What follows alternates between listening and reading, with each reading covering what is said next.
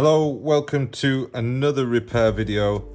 In this video, we're going to be taking a look at this iPad 7th gen A2197 model number and we're going to replace this broken glass on there. Obviously, there's some damage around the home button there. It isn't currently affecting the home button, but we're going to be sure to be careful around that area. Um, the first thing that we need to do is get it on the heat mat for the next 10 minutes or so. There's eight minutes left on this one.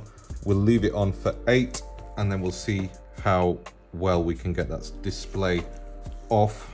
Once it's off, we're going to replace it with one of these XO7 brand extended warranty displays. These are really good. They come with Tesa tape pre-installed and they also have one of these more universal home button brackets, which is much, much easier to install than the other one. And the fault rate when using them is much lower. So let's leave that on the heat mat for 10 and then come back to it. So let's leave that on the heat mat for 10 minutes and make a cup of tea whilst that's cooking. So now that it's had suitable cooking time, I'm gonna keep it on the heat mat here and starting up in this corner, I'm gonna get a razor blade between the glass and the frame. Then add a small drop of isopropyl alcohol and then with our trusted iFixit guitar pick, we're gonna start working our way around, just inserting it a small way and prying upwards so that the display sort of just just comes away from the chassis. Try not to insert it too far because you will come into contact with the LCD and if it falls out just get your razor blade again and just pry it up very gently.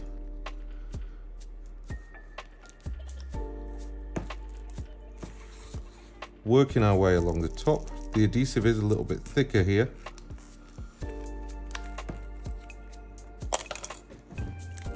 And then once you can get a finger just sort of hold it up whilst you work your way around it.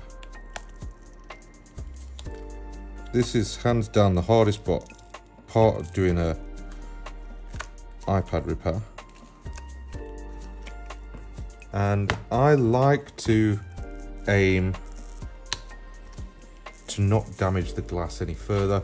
Although now I've said that comment, I guarantee we shatter the living daylights out of this one. Right, it's a little bit trickier down this bottom just because the display is more, more sort of smashed. Um, so I'm going to sort of traverse along with the edge of my razor blade and just pry it upwards until we've got a decent hold on it and then same again around the home button. We really need to be careful not to insert it too far and just under the adhesive so we don't cut the home button flex which runs from here along this sort of line there.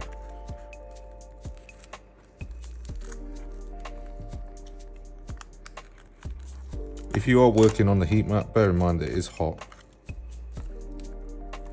and you might want some protection in the form of gloves.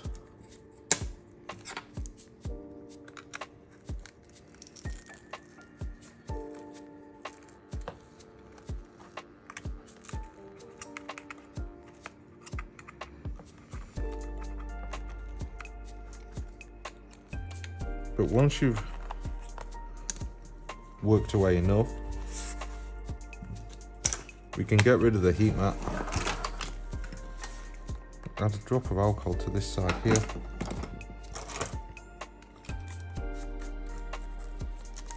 And there's no need to pry down this side because it just opens up like that.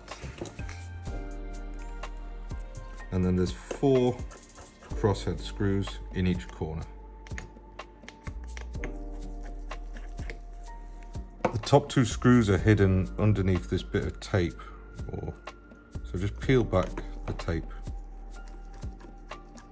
allowing access with the screwdriver.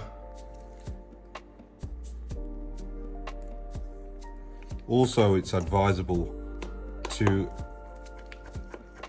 really avoid touching the LCD because it can be a bit of a pig to clean. Now the iPad's open, we need to pry up this LCD. And you might notice that there is some adhesive in these corners, so just get some tweezers and pry it out of the adhesive whilst the iPad's still hot. Otherwise it ain't coming out. You can see that the LCD is free now to, to lift up like that. With the LCD out of the way, we can disconnect the battery and insert our plastic pick into there to isolate the battery. Now there's three screws here that are holding down the connectors for the LCD and digitizer.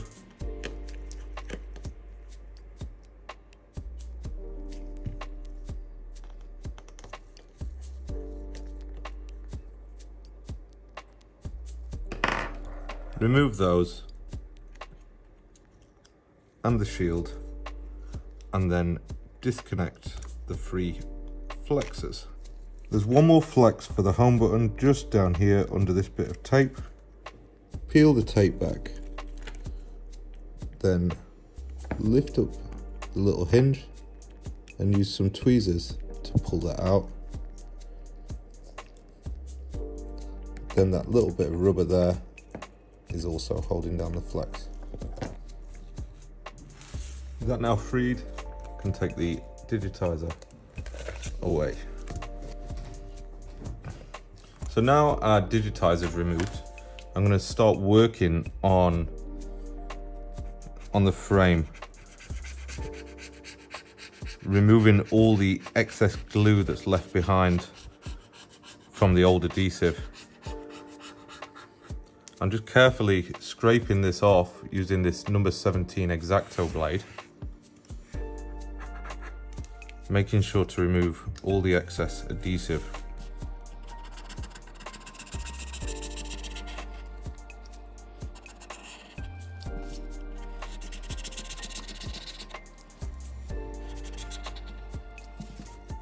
When it comes to this edge with the battery, we don't want to sort of slip and stab the battery. So I use these metal um, BGA stencils just to protect the battery as I'm working past it because if I slipped I'll only poke a hole in that. And then just move it along with your blade.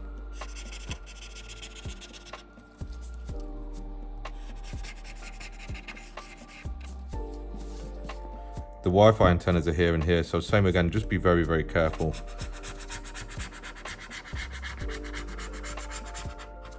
not to cause any damage with the blade.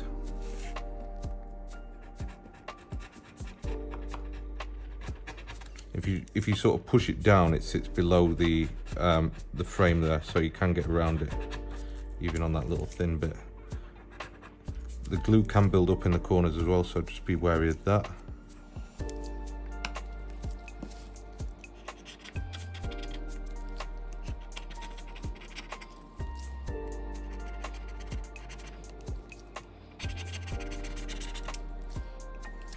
So that is all the excess adhesive removed.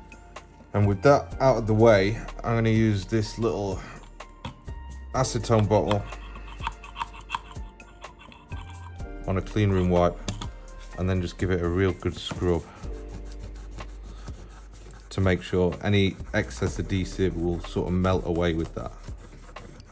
Don't go don't go crazy with the acetone because you don't need a lot. A little goes a long way but also be careful when you're rubbing these edges. Some of these edges can have burrs on them and they can be quite sharp. I've also just noticed a little bit of glass in there, so just remove any shards if it's really shattered. We're very nearly there with the preparation of this display. The last thing to do before we um, move on to preparing the new digitizer is applying some of this Tesa adhesion promoter. This is totally magic stuff. I apply it to all the edges with a cotton free cotton bud. Um, and it's just good it's a priming it's a priming liquid and helps the new tape to stick down.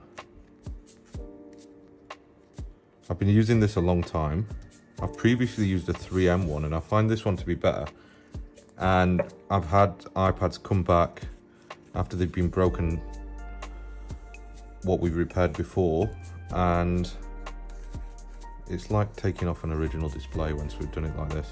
It's just as sort of, not difficult, but it, it just, I, I wouldn't be able to tell that it wasn't an original screen.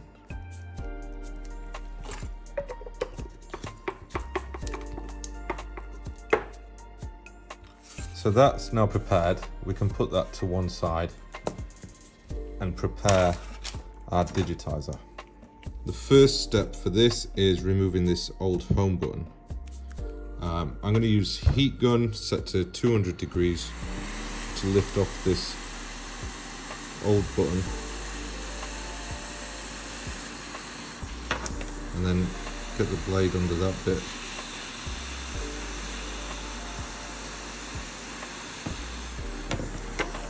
see a lot of the glass came came with it.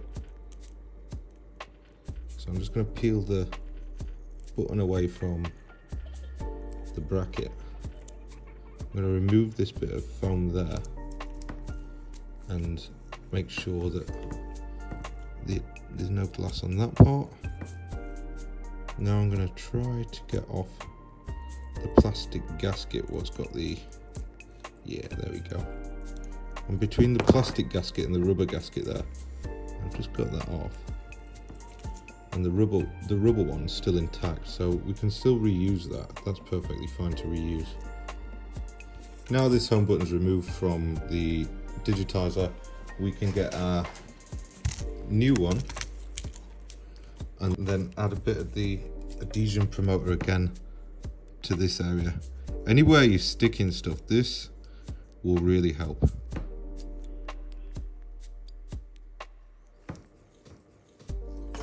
Same on, on the back of this uh, flex cable. Same on the back of the flex cable here. I'll apply some of that and that sort of reactivates the adhesive as well. So I'll drop that into place like so. And then our flex cable goes on there and that's stuck down.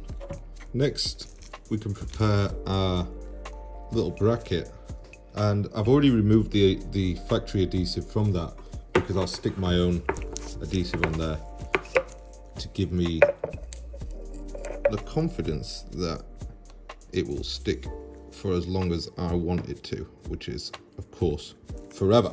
And then a couple of very small little strips of Tesa adhesive, which is sort of the best double-sided adhesive that I have found.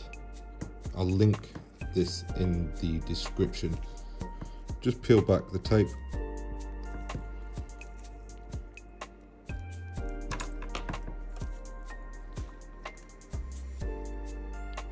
Drop that into place just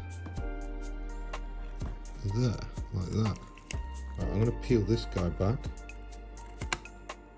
put that one there, and then stick that back down, because that's how the original is. And then we should just peel off this bit of adhesive there. Now that we've got that foam there, we're just going to make sure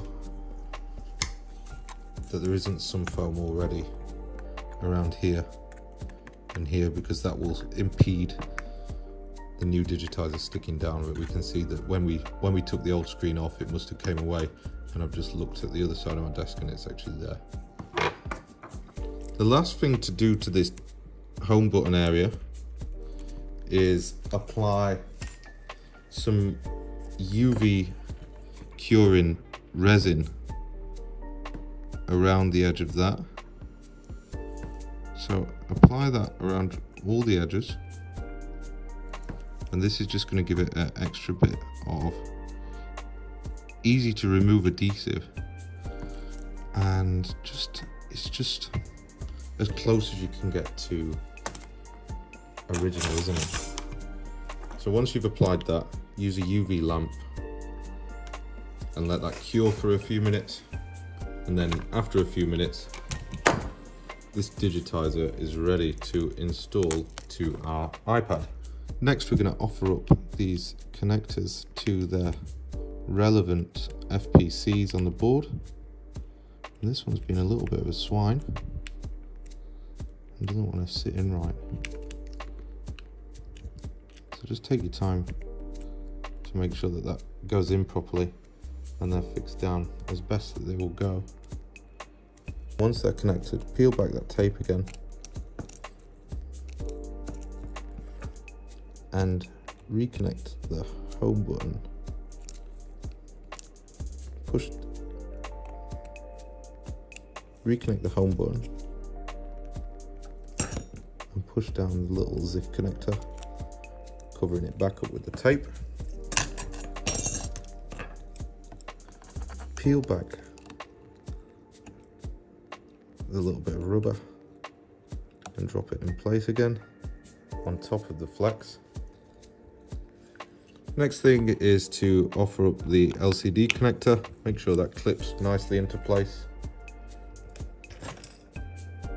Then install the bracket and three screws.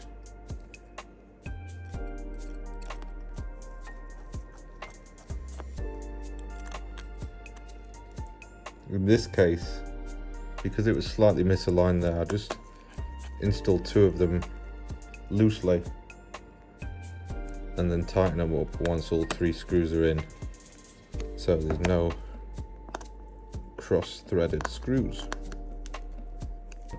Once that's secured down, we can remove our battery isolation pick and install that slightly longer screw into the battery connector. Then place our LCD where it belongs. Install those four screws in, in the corner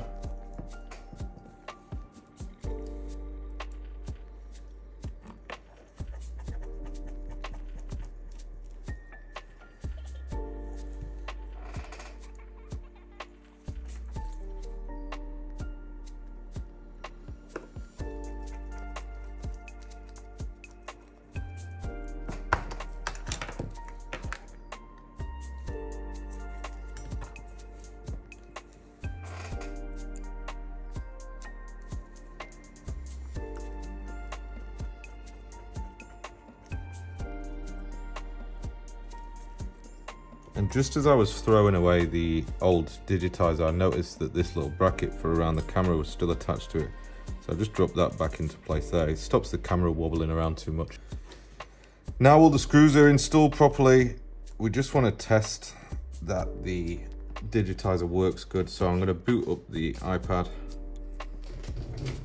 and make sure that touch is good. Once it's booted up, just even if you don't have the passcode, you can have a good idea if touch is working by just dragging around the screen and the time should move around, time and date should move, but it shouldn't drop like that.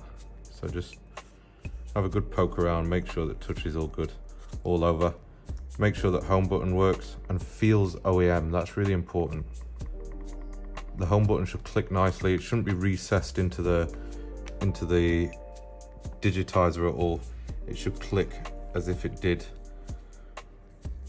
when the iPad was new. So before I stick this back down, the first thing that I will do is remove the adhesive, the double-sided stuff on the adhesive.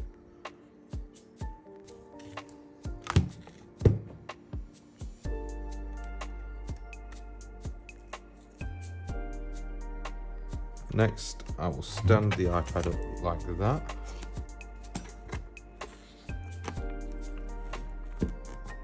And I'm gonna make sure that this LCD is as clean as possible.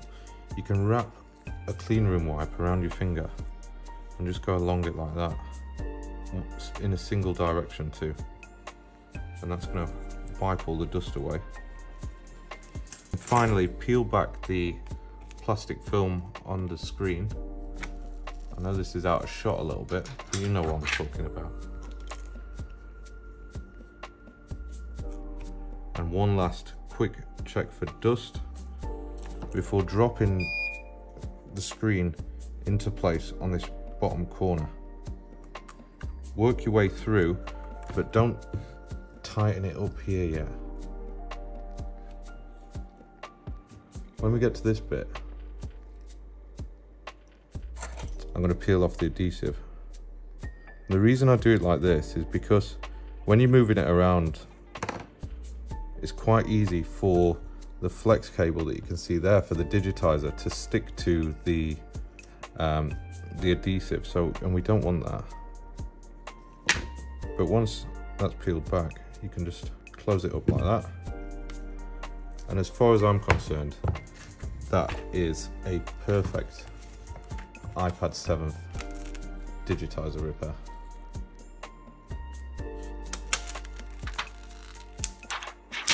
Thank you for watching. If you like this sort of thing, click the subscribe button, give it a thumbs up, and leave me a comment. Have a great day.